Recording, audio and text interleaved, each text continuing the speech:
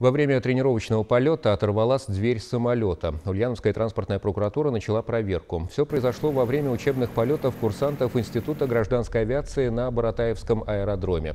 Как установила прокуратура, при посадке у легкого самолета открылась задняя дверь. Далее деталь просто оторвала от корпуса, в связи с чем следующий борт, заходивший на посадку, вынужден был уйти на второй круг. В результате авиационного события никто не пострадал, дверь воздушного судна найдена, полеты не прекращались. На место происшествия выезжал Ульяновский транспортный прокурор. По итогам начатой прокурорской проверки будет решен вопрос о необходимых мерах реагирования.